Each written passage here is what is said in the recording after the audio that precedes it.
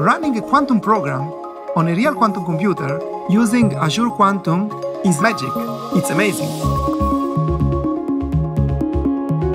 Azure Quantum enabled us to create a first of its kind course in which students analyze how real quantum computers perform. It was a unique opportunity to combine learning with doing in quantum information. After completing a series of team based projects, students were able to design their own research problems and run experiments on the IonQ machine, accessed through Azure Quantum. These students had previously studied quantum computing in theory, but this was their first chance to program and evaluate real quantum devices. It was an incredible experience for them.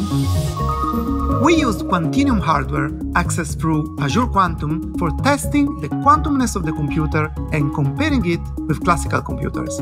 We've challenged the computers to solve a certain puzzle.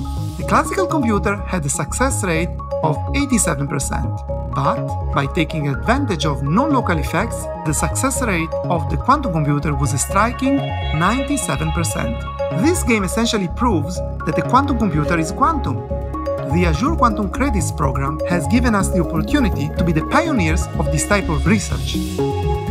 Our project was an academic research collaboration between the Technical University of Denmark and KPMG. It involved neural networks, which are computer systems that mimic the human brain. By accessing hardware through Azure Quantum, we use quantum computing to train and control neural networks. People and organizations, they are beginning to realize the extreme power that lies in quantum computing. This is something that we can truly harness. The word is out. Quantum computing is going to change how we solve problems.